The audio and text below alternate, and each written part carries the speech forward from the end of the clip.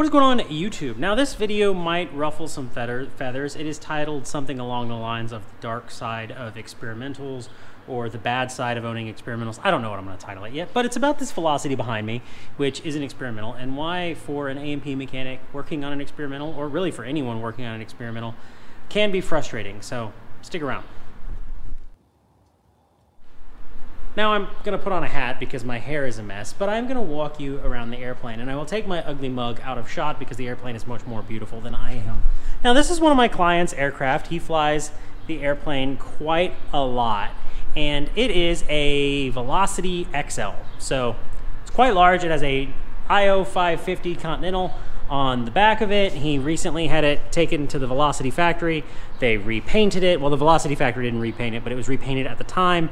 They installed a beautiful glass panel, which I will get booted up here in just a second. They installed vertical power um, and basically modified it quite heavily to be a very fast and very beautiful Velocity and or Canard airplane. Now, here's where the bad side about working on experimental airplanes comes in. This airplane is experimental. And we recently, and by recently I mean just a few days ago, experienced a landing gear failure. So I will show you what I'm talking about. Now, I'm gonna go ahead and cover the lens of my camera, and when I come back, all of this will be booted up.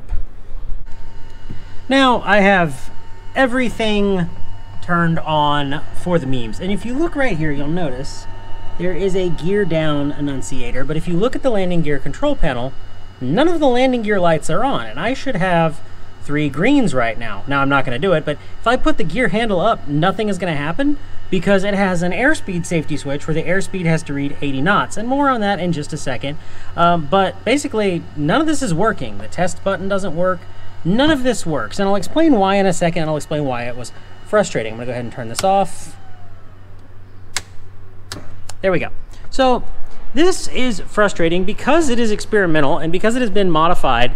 It doesn't have really a traditional maintenance manual or something that you would follow, and it's unlike any other Velocity or really any other airplane that I'm traditionally work on because it has a landing gear controller in here, and here's the vertical power that I was talking about a second ago, but because of that, you have to end up following the wiring diagrams, and I'll, I'll flip to the one that I'm using you end up having to follow the wiring diagrams, which this is the wiring diagram for the landing gear controller, and it has things like this reset force down or this ground gear up enable switch. But the problem is this wiring diagram doesn't tell me where this ground gear up enable switch is.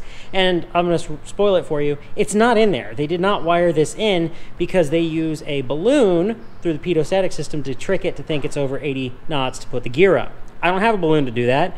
So that in and, of, in and of itself is going to be kind of a pain in the butt putting the gear up on this airplane. But anyways, through some troubleshooting, I figured out that the diodes had burned out, or one of them burned out on the gear solenoid, and ended up frying the gear controller, which brings me to my point. If this was, say, a Cessna, a Cessna, I don't know, what's something that's retractable, a 210, or a Piper Cherokee Arrow slash Piper Saratoga, they're all the same the landing gears are the same, the pumps are the same, and I mean model to model they're the same. Not Cessna and Piper are the same, but they're all the same. If I've worked on one Piper, you've kind of worked on them all. If you've worked on one Cessna, you've kind of worked on them all.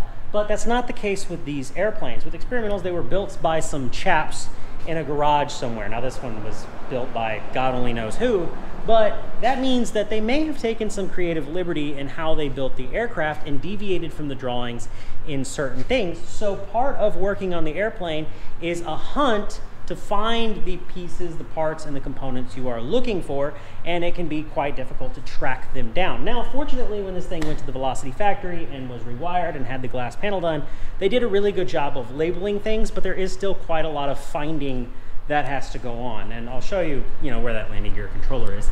That landing gear controller is actually right back up here behind my finger. You can't see it because it's dark, but it's behind my finger on this panel here, and this is the wiring harness for it. Everything is labeled nice and pretty, and that makes it a lot easier. But the point of that is to say, because the airplanes are built by some chaps in a garage or a hangar or wherever, and they may have deviated from the drawing, it can make every experimental aircraft be a little unique than the one next to it, and it can make working on them or servicing them a little difficult if you're not familiar with it. So you end up finding yourself as a mechanic doing a condition inspection, you end up finding yourself doing quite a lot of familiarizing with the aircraft before you even start the condition inspection and looking at a lot of the drawings and things for it, trying to determine how it was built and where things were done and in what manner things were done so that you can adequately service it without it being dangerous.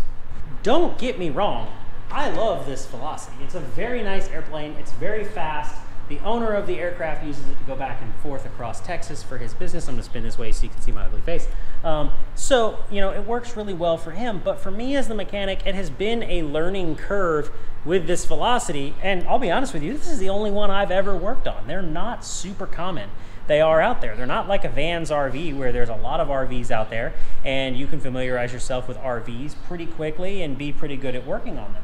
This is kind of more specialty. It's not the rarest of experimental air aircraft out there, but there is a large learning curve when it comes to working on velocities because it's something new, it's something different, it's not something I'm used to. It'd be like, you know, I grew up with old hot rods and Fords and things, and then all of a sudden you're asked to work on a Lamborghini. I mean, yeah, sure, I could probably figure it out, but that's, you know, it's going to take some time. There is a learning curve with doing this kind of thing. So, if you buy an experimental aircraft, if you're an owner thinking about buying an experimental aircraft, or if you're a mechanic thinking about working on an experimental aircraft, I advise you two things. One, make sure there are really good records for the aircraft and that all of the build sheets, the drawings, the diagrams, and all that kind of stuff comes with it at the sale and you don't just get a set of logbooks. A set of logbooks is not going to do you a lot of good to know that somebody modified the airplane in a weird and interesting way to make it do something and now you're trying to figure that out and reverse engineer it. So make sure you've got good drawings, good logbooks, good records of all that kind of stuff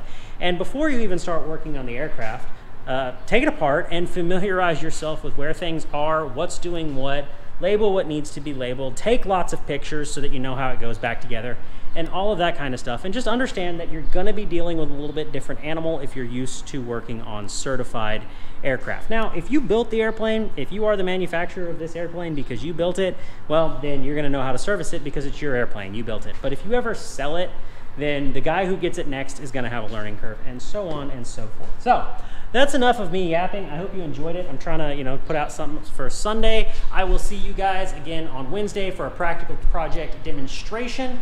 I think I'm going to show rigging a torque tube slash rigging flaps. I've been getting that asked that question by a couple of different people in every comment, like rig a torque tube, rig a torque tube, talk about a torque tube. So I will talk about a torque tube on Wednesday, how to rig flight controls that use them, flaps, that kind of thing. So if that interests you, stick around for that. As always, I you leave us a like, leave us a comment, subscribe, all of that good stuff. And as always, go build something and be easy. Post editorial note.